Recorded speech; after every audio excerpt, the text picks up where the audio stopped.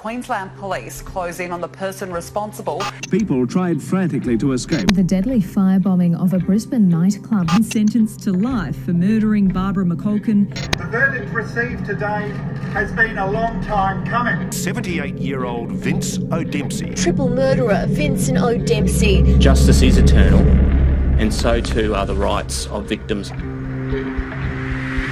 I think he gets excited killing people.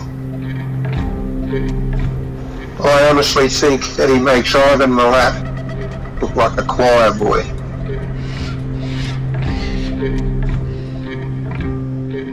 For decades, a small country town in the middle of nowhere nurtured a monster.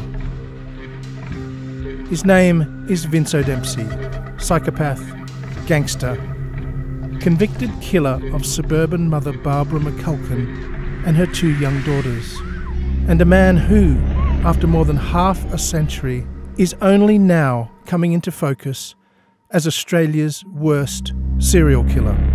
And this was his playground, Ghostgate Road.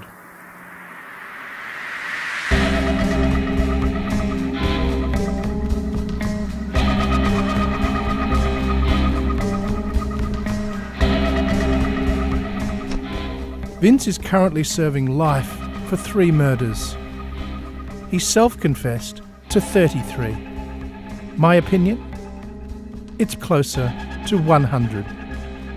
From Whooshkaa Studios, I'm Matthew Condon, and this is Ghostgate Road. Come join me on the hunt to uncover Vince's private graveyard and step inside the mind of one of the most sadistic killers Australia has ever produced.